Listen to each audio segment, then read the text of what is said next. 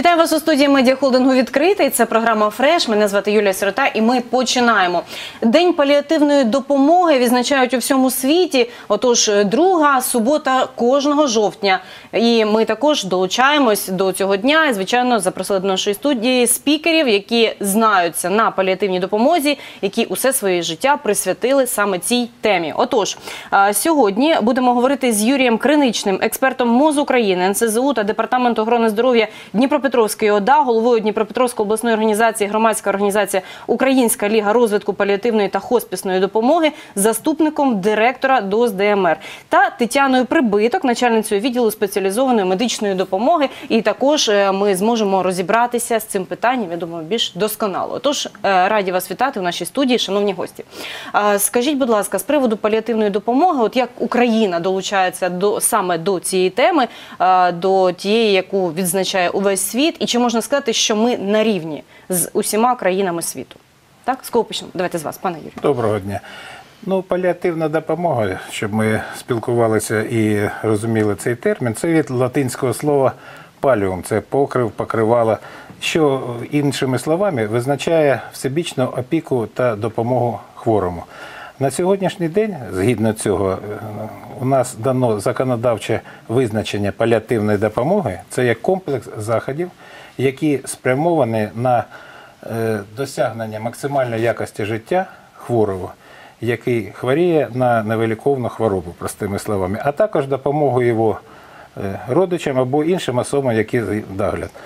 Законодавче це у нас затверджено в основах законодавства про охорону здоров'я України, де е, в межах місцевого в межах всіх бюджетів, так сказати, фактично кошти на це передбачено, а також в законі про програму медичної гарантії, де є два пакети цілих стаціонарна і паліативна допомога, за рахунок яко- якого медичним закладам відшкодовуються кошти так сказати, на цю. Тому в Україні це, м, скажімо так, не гірше, ніж в Європі це питання організаційно поставлено. Е, Єдине, що е, це те, що наші е, глядачі, мешканці е, країни, не всі можуть знати про те, що є такі е, умови, є можливості з надання паліативної допомоги. Е, Тобто. Про це треба більше говорити, мабуть, і е, так особливо це стосується людей, які справді невиліковно хворі. Вони повинні розуміти, що е, є можливість придбати ліки чи лікування. Так, можливо, комусь стаціонар потрібен. Пані Тетяно, ось скільки людей нашої області та міста хворіють зараз невиліковно? Чи можна трошки назвати цифри, статистику? Ну, по місту, давайте так. по Статистика по місту в нас така. В нас зараз е, на обліку у сімейних лікарів перебуває 2231 паліативний хворий. З них 1075 хворих це хворі з онкологічними захворюваннями. Також 44 це діточки. За ініціативи міського голови Філатова Бориса Альбертовича у 2018 році була прийнята міська програма е, надання паліативної медичної допомоги в амбулаторних умовах. Вона розрахована була на 2018-2021 роки. Наразі зараз прийнята програма на 2022-2026 роки надання паліативної допомоги з бюджетом 42 мільйона гривень.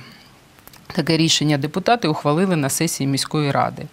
Е, За 9 місяців 2021 року технічними засобами це підгузки, калоприймачі, сечоприймачі було забезпечено в амбулаторних умовах 332 паліативних хворих на загальну суму майже 1 мільйон 215 тисяч гривень.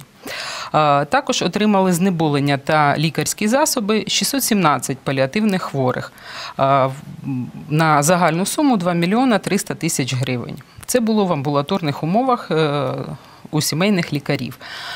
Також у нас є паліативні відділення, які функціонують в міській клінічній лікарні номер 16. Також є паліативні ліжка в міських клінічних лікарнях номер 6, 9, 21, в клінічній лікарні швидкої медичної допомоги. І також в шостій дитячій лікарні та в лікарні к- в багатопрофільній лікарні матері та дитини імені Руднєва. Також у нас є виїзні паліативні бригади, які за 9 місяців цього року здійснили е, до дорослих хворих е, виїздів 2482 і до діт- дітей 23 виїзда. Отака в нас програма. Е, Чи можна сказати, що це вже е, повністю задовільнені потреби і тих людей, які невиліковно хворі? Чи це тільки частина? В нас е, є, як сказав Юрій Володимирович, фінансування з НСЗУ, укладені договори, і є міська програма, яка теж направлена на е, удосконалення е, надання паліативної допомоги мешканцям міста. Ну тобто, всі, хто звертаються, отримують допомогу, так можна сказати. Якщо люди не звернулися, а, можливо, не знали з якихось е, Да, причин. треба так? звертатися Треба до сімейного звертатися. лікаря. Мгм. Він несе в реєстр паліативних хворих, і за е, потребами буде надаватися допомога. Це чи знеболення, чи е, технічні та засоби реабілітації, кало, сечоприймачі. Або, якщо є потреба, буде викликана мобільна бригада. Вона теж буде надавати допомогу. Пане Юрію, з приводу області, справді людям е, подеколи важко дістатися, і це ж по місту тут швидко можна вирішити це питання, так? А що стосується області, от як там Ну, я е, хотів би додати, що питання надання паліативної допомоги в межах області, воно не виникло не сьогодні. Ще 5 років тому було видано наказ організаційний по області. І перша область в Україні, яка створила реєстр паліативних хворих е, відповідно до кожного центру первинної допомоги, це Дніпропетровська. Зараз більш ніж в 60 центрах первинної медичної допомоги надається ця допомога. І е, цей реєстр він динамічно моніторується. В області на сьогоднішній день на обліку більш 7 тисяч, так сказати, але це тільки надводна частина айсбергу, тому що якщо глянути структуру смертності у нас в Україні, а щорічно у нас помирає близько 600 тисяч, то 400 тисяч, дві третини помирають від захворювань кровообігу, так сказати. І тільки кожний п'ятий, це близько 80 тисяч, помирає від онкозахворюваних. Але якщо глянути структуру паліативних хворих, то тут онкохворі складають більш е, 50%, тому що це найбільш вразлива частина.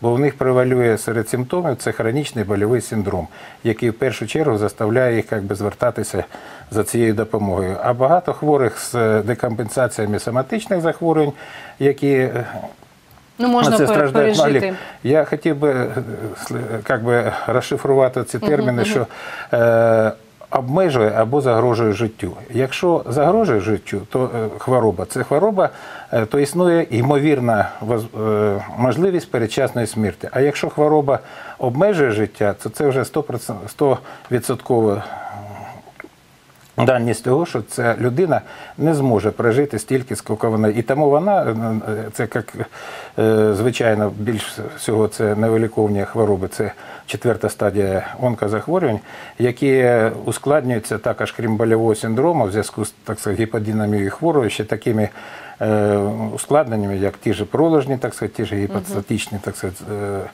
захворювання серцевої системи, так сказати, легеневої. Тому ці хворі потребують особого у нас нагляду. Е, З приводу якраз е, того, е, коли люди справді прикуті вже до ліжка, так це вже така стадія, коли е, треба допомога обов'язково. Це можуть бути рідні, близькі, частіше так і є. Але е, є ще така соціальна проблема, коли е, повинні ці люди працювати, так виходити кудись, спілкуватися і так далі. Тобто, е, як це питання вирішується? Чи надається допомога, чи надаються лікарняні е, тим близьким людям, які е, можуть бути з невиліковними хворими? На сьогоднішній день це питання е, розглядається таким чином, що ці хворі, якщо вони е, згідно останньому наказу Міністерства охорони здоров'я, е, хворий сам має право вибирати місце, де він буде проходити лікування, або місце смерті своє. Це загальноєвропейські, так сказати, вимоги. А також, якщо у хворого немає можливості його наблюдати вдома, то він е, більш е, потребує не стільки не лікування, а догляду, так сказати. Бо Тому що догляд це е, не зовсім медична е, як би, структура. Це є у нас, я хочу за це нагадати, що паліативна допомога це не тільки медична. Там чотири складових: медична, соціальна, психологічна і духовна. Так ось е, така є у нас допомога, як е, соціальний супровід. Це, це є як допомога, яку надають соціальні співробітники. Як правило, такі Пацієнти, вони, якщо у них є обтяжливе так сказати, ускладнення, то вони госпіталізуються до ліжок стаціонарної допомоги, і там їм надається, якщо вдома неможливо цілодобово надавати допомогу. Для цього і існує стаціонарна паліативна допомога. Ну, звичайно, питання дуже складне, і е, ми всі розуміємо, що так чи інакше, але у багатьох е, виникають потреби, особливо якщо е, хворі батьки, наприклад, чи там близькі люди. І е, тут треба розуміти, що е, допомога повинна бути не лише медична, так і психологічна, звичайно, і духовна, і соціальна також, тому що треба е, придбати ліки, так треба з людиною бути ближче, треба там брати участь у, у її житті. Тож, е, пані Тетяно, хотіла запитати у вас, от е, як ви думаєте, ось ті решта складових, окрім медичної, як вони поставлені, на який рівень? Чи справді соціальні працівники можуть бути надані кожному хворому, який це потребує, і, і так далі? Тобто, як співпрацюють медичні заклади, от саме з такими структурами, які могли би повністю забезпечити е, догляд невиліковно хворого на сьогодні? Да, звичайно, сімей, коли е, хворий звертається до сімейного лікаря, сімейний лікар організовує е, цю допомогу. У нас є паліативна бригада, до складу якого входить психотерапевт, і за потрібності він надає допомогу як і хворій людині, так і членам родини. Також е, сімейний лікар і родичі звертаються до соціальних служб, які також в межах чинного законодавства надають допомогу. Угу. А з приводу тих е, знеболюючих препаратів, ось пане Юрія, е, теж хотіла запитати, е, в якій кількості їх надають? Чи можна їх давати більше? Чи ось хто це регулює? Хто регулює це питання? Чи можуть родичі регулювати, чи тільки з консультацією лікаря це можна робити? Значить, питання знеболення при хронічному больовому синдромі, воно не визначається бажанням того чи іншого родича. Є для цього медичні показники. Наразі, е, в частності, переробляються і галузеві стандарти з хронічного больового синдрому е, групою експертів, які теж працюють, так сказати. Але головне, людина не повинна страждати від болю. Тому потрібно адекватне знеболення. Адекватне знеболення є теж європейські стандарти, як його знеболять. Є ступені, так сказати, больового синдрому. Згідно кожної ступені є перелік препаратів, які тут назначаються. Ці препарати на сьогоднішній день у місті Дніпро і в області вони забезпечені за рахунок бюджетних та програмних коштів, так сказати. І тільки лікар, спілкуясь з пацієнтом, може визначити, скільки і яких, і в якій комбінації, е, зважаючи на особливості застосування, особливості, е, скажімо так, уражень хворого, скільки їм повинно все це. Я хочу сказати, що це знаходиться в постійній динаміці. Сімейні лікарі завжди користуються, так сказати, і е, умовами того, що спеціалісти з виїзних бригад приїжджають, вони колегіально вирішують питання для того, щоб хворий не страждав. Іногда навіть ці хворі, і це передбачено наказом МОЗ, госпіталізуються для стаціонара для підбору не тільки препаратів, але ще й методів їх введення в організм. Бо це теж важливо, так сказати. Тому що це питання, воно, ну скажімо, на достатньо високому рівні в Україні на сьогоднішній На день. сьогодні так ну ми знаємо, що у нас е, досить таки недавно е, ну справді почали так активно втручатися е, з паліативною допомогою, е, так тому що е, е, область перша е, почала е, розглядати це питання, так А- а хотілося б взяти можливо приклад інших країн, там європейських, наприклад, так де вже давно це було, де, де соціальні працівники приїздили е, додому до хворого, де вони активно е, з ним спілкувалися, спів, спілкувалися з членами родини і так далі. Тобто, ну взагалі поставлене це питання трошки трошки інакше. Ну от як ви вважаєте, чи нам потрібен цей досвід, чи нам достатньо свого, і він е, досить таки непоганий на сьогодні? Ось той досвід, який ми вже отримали останніми роками. Ну, треба критично теж е, дивитись на той досвід, що ми маємо. Е, В інших скажімо, країнах, інших так? країнах. Мгм. Тому що ми повинні взяти від, відтуда, оттуда найкраще, що там Так, є. звичайно. Але ж там е, є такі, ма- е, допуст, е, вимоги, що, наприклад, в той же Польщі 21 день д- держава, а інше тільки за кошти пацієнта, так сказати, бо там є страхова система. В той же Америці на сьогоднішній день наші колеги, так сказати, з е, Національного університету здоров'я Шупика, які проводять, до речі, у нас в області, опять же, в єдині 7 років подряд проводяться виїзні цикли підготовки для лікарів і медичних сестер, на яких у нас в першу чергу ми туди залучаємо сімейних лікарів, які першими стикаються з такими пацієнтами. Там м, розказували, розповідали теж досвід він такий е, неоднозначний. Тому що якщо людина не має страховки, страховки, вона е, Нікому не страховка потрібно, нікому.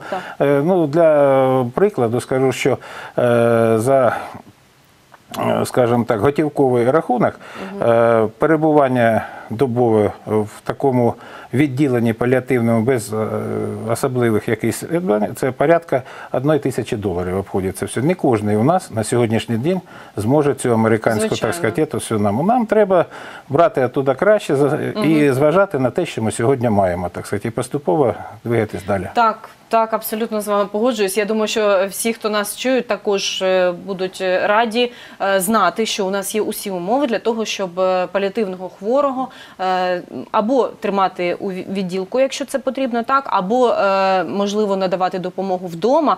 Е, Вдома все ж кажуть, стіни навіть лікують, так, і це було би можливо краще вдома, аби е, були умови для цього. Для всього є покази свої.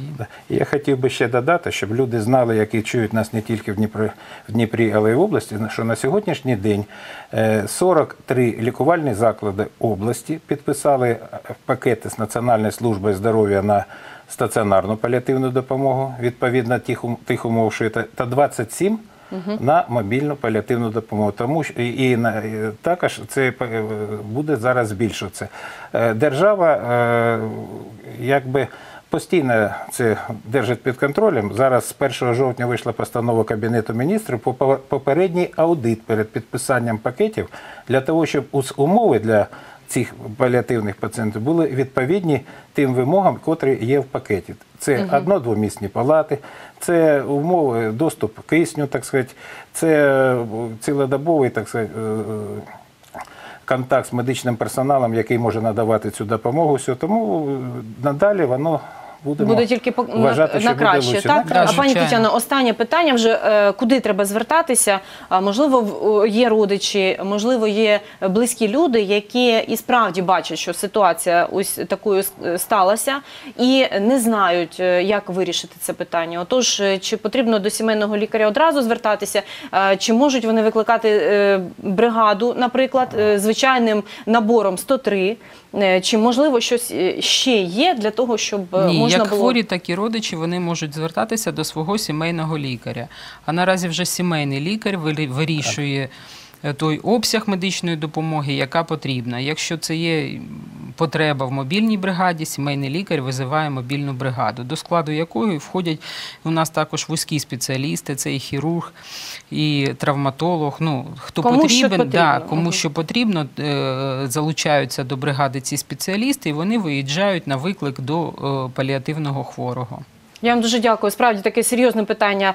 Ми сьогодні обговорювали. Це паліативна допомога, але воно дуже потрібне, воно важливе для усіх, для нас, е, для українського суспільства в цілому. І е, справді е, визначили і дізналися, що в нашій області питання з паліативною допомогою зараз на досить таки високому рівні. Тож потрібно знати, як правильно вирішити це питання у кожній родині і у тій людині, якій справді необхідна і потрібна ось така допомога. Я вам дуже дякую за участь у нашій програмі. Е, Всім хочеться побажати міцного здоров'я. А ми зустрінемось з вами за декілька хвилин.